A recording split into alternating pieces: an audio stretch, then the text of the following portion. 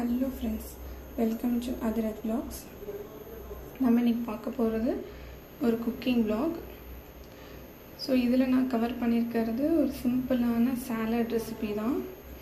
So இந்த சம்மருக்கு வந்து இந்த சாலட் வந்து நல்லா கு நல்ல குளிர்ச்சியை தரும்.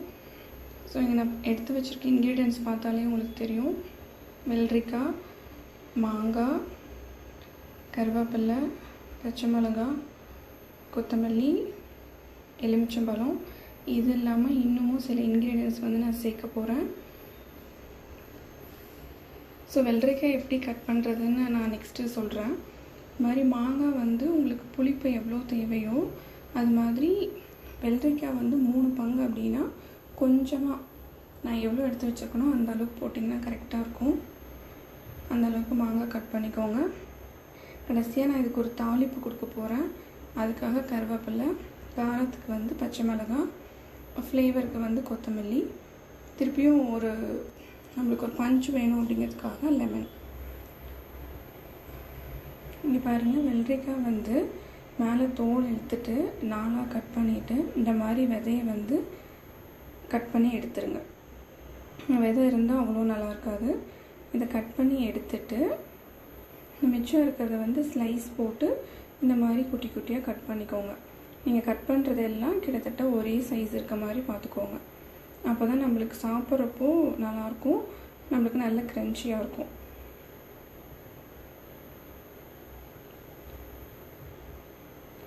ஸோ இது மாதிரி நல்லா ஸ்லைஸ் போட்டுட்டு குட்டி குட்டி க்யூப்ஸாக வந்து நீங்கள் கட் பண்ணிக்கோங்க. மாங்காவும் கிட்டத்தட்ட அதே மாதிரி தான் கட் பண்ணியிருக்கேன் நான். ஸோ இப்போ வந்து எல்லாத்தையும் நம்ம கட் பண்ணி எடுத்தாச்சு. இது இல்லாமல் நம்மளுக்கு வந்து நான் பாசி பருப்பு வந்து ஒரு ஒன் ஹவர் ஊற வச்சு வச்சுருக்கேன். ஒரு மிளகா எடுத்திருக்கேன்.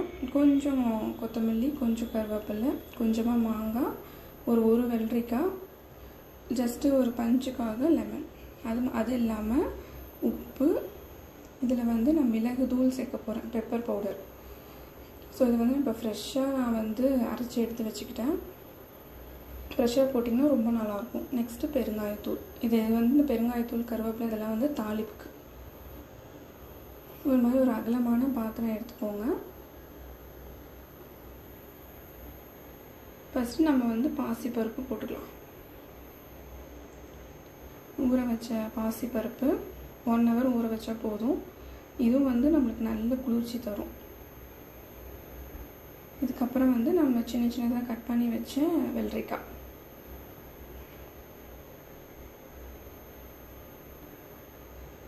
அதுக்கப்புறம் மாங்காய்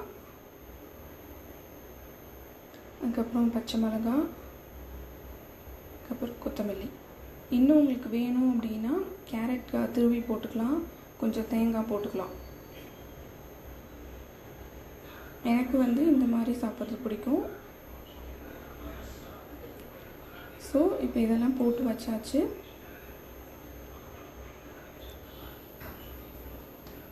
இது கூட நீங்கள் வேறு ஏதாச்சும் ஆட் பண்ணுறதுனால ஆட் பண்ணிக்கலாம். இதெல்லாம் வந்து நம்ம சாய்ஸ் தான். நம்ம நெக்ஸ்ட்டு தாளிப்புக்கு ரெடி பண்ணிடலாம். ஸோ நான் வந்து ஸ்டவ்வில் ஒரு தாளிப்பு கரண்டி வச்சாச்சு. ஸோ கொஞ்சமாக எண்ணெய் விட்டுட்டு எண்ணெய் வந்து நல்லா காஞ்சதுக்கப்புறம் இதில் நான் என்னென்ன போட போகிறேன் அப்படின்னா கொஞ்சம் கடுகு.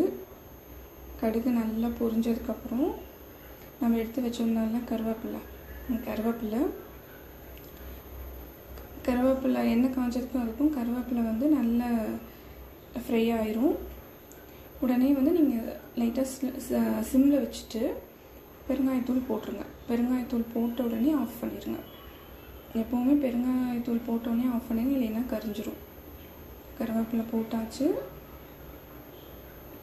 எப்போவுமே நீங்கள் இந்த மாதிரி பருப்பு வகைகள் வச்சு செஞ்சீங்க அப்படின்னா கொஞ்சம் இந்த மாதிரி பெருங்காயத்தூள் சேர்த்துக்கோங்க. ஃப்ளேவரும் நல்லாயிருக்கும். நம்மளுக்கு எந்த கேஸ்ட்ரிக் ப்ராப்ளமும் இருக்காது.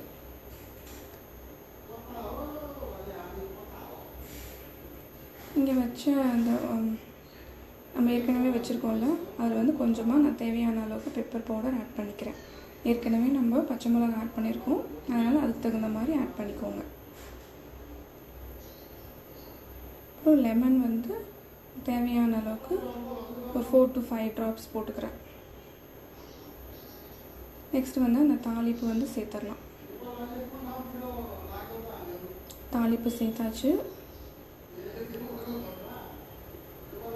எப்போவுமே நீங்கள் உடனே சீக்கிரம் அப்பயே சாப்பிட்றீங்க அப்படின்னா இந்த மாதிரி கலந்து வச்சுட்டு கடைசியாக உப்பு போடுங்க.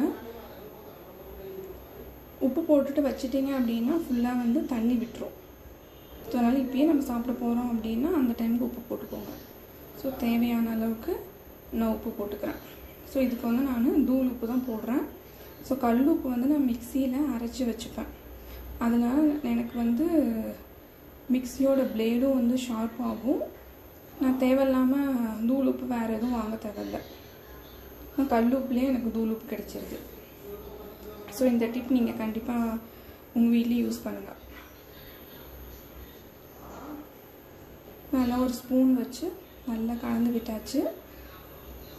நெக்ஸ்ட்டு வந்து நம்ம சர்வ் பண்ண வேண்டியதான் ஸோ இதை நான் வேறு ஒரு பிளேட்டில் மாற்றிட்டேன் ஸோ இப்போ வந்து சர்வ் பண்ண வேண்டியதான் ஸோ இந்த வீடியோ உங்களுக்கு பிடிச்சிருந்துச்சி அப்படின்னா லைக் பண்ணுங்கள் ஷேர் பண்ணுங்கள் கமெண்ட் பண்ணுங்கள் மறக்காமல் சேனலை சப்ஸ்கிரைப் பண்ணுங்கள் அப்போ தான் நான் எந்த வீடியோ போட்டாலும் உங்களுக்கு நோட்டிஃபை ஆகும்.